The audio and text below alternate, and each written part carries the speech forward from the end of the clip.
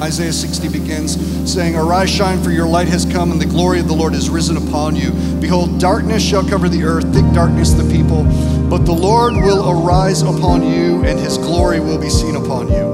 There's one thing that distinguishes the people of God from all the other people, and it's God's presence in our midst.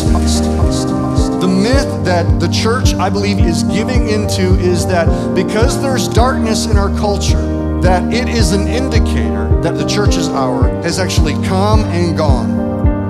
Darkness is nothing more than a setup as a backdrop for God to display His wisdom, glory, and power through the church. And sometimes in the church, we think our entire faith and relationship with God is based just upon remembering what Jesus did, waiting for Him to return. And we forget that when Jesus came, he came as an example and then he handed off.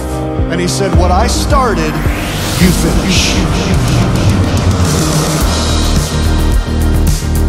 We need to stop and realize God is with us. With us, with us. We have the same Holy Spirit that called the heavens and the earth into being, who brooded over the face of the deep, separated the mountains from the water. The same Spirit that spoke to a tomb and told the stone to roll away and for Jesus to emerge from death back into life. The same Holy Spirit who took the first star, stretched out the expanse. That same Holy Spirit lives on the inside of you. And if that Holy Spirit can do all those things, imagine what He can do through you.